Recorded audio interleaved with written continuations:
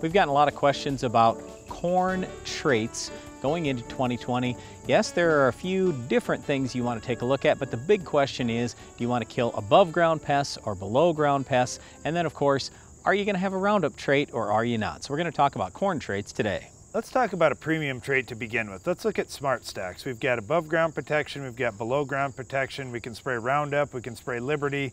Uh, you've got really the whole gamut, and I think this product gets undersold. The reason why, it's got a high price point to it, so there's a lot to talk through and to think through. But giving yourself the option of using Liberty in the corn is a pretty nice thing too. Roundup's great for grass control, but to get some additional help on broadleaves, that's kind of nice having Liberty. Now when we look at the rootworm protection, this is really where most of the decision gets made. Do I need that rootworm protection or not? It's still working pretty good on rootworm, having the two different traits in there to stop them. But I get it, it comes at a pretty good price point. So if you're in a corn on corn situation, it's certainly got to be a consideration on your farm. Yeah, well, you talk about this price point, and you mentioned that multiple times there, Darren, but let's not forget, you're not spending what the bag costs per acre that bag is going to treat two and a half acres, maybe three acres, so you got to divide that out. And what really is that price difference? Where I'm going with this is net, you're probably going to spend an extra 15 to $20 an acre. Well, what is insecticide cost for rootworm? The really good ones the dry products are going to be over $20 an acre. So uh, that's really, in my opinion, about a wash. And the nice thing is you're going to get better control with the trait than you are any insecticide out there. The insecticides at best are 90%, maybe 95% control, but you can get about 99.9% control on rootworms with the trait. I definitely saw some fields this year that I wish the farmer would have had smart stacks out there because we had a lot of rootworm pressure, a lot of rootworm beetles that you've seen even this fall out in the fields. Now, if you don't choose that, you probably have chosen something like VT Double Pro where you've got above ground insect protection, but it's not perfect. It's not good on all the earworms. You've got really good control on European corn borer though, which seems to be one of the key drivers in the market.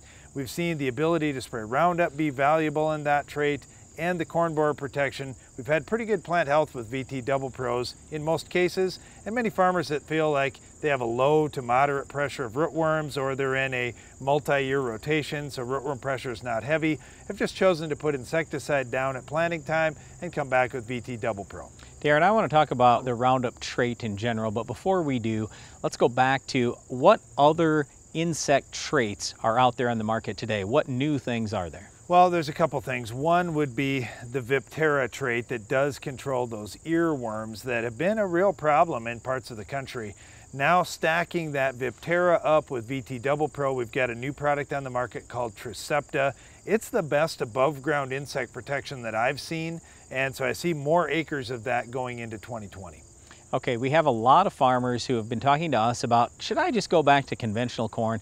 I don't want the insect traits, and Roundup isn't giving me anything because I have all these Roundup resistant weeds. Look, you can certainly go conventional corn. We love conventional corn. Quite frankly, the only reason we switched away from conventional corn on our farm back 20 years ago is because all our neighbors around us were spraying Roundup and had Roundup ready corn, and then we had to worry about that drift going into our fields.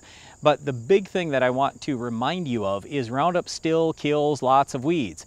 It's fantastic on almost all grasses. And don't forget, prior to Roundup corn and Liberty corn coming out, grass was our number one weed problem in corn, it was our number two weed problem in corn, and it was our number three weed problem in corn. Grass is terrible for corn. You have to have great control. And even if you do a full rate of a straight grass killer pre, like a Group 15, that a lot of times is not quite enough, especially in heavy pressure. It's nice having a ridiculously cheap post-emerge option. I love having Roundup for $3 to kill all the grass out in the field that happens to escape my pre.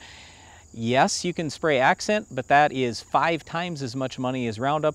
It's harder on the corn, and it is certainly not going to be as good on the grass. Well, we do have to remember what makes us money on the farm. It's harvesting grain, getting to sell that grain, and putting cash in the pocket.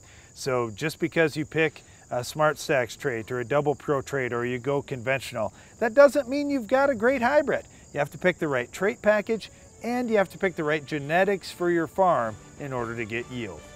Well, weed control is super important if you want great yield as well. So make sure you're controlling our Weed of the Week. We'll tell you how to stop it on your farm coming up later in the show.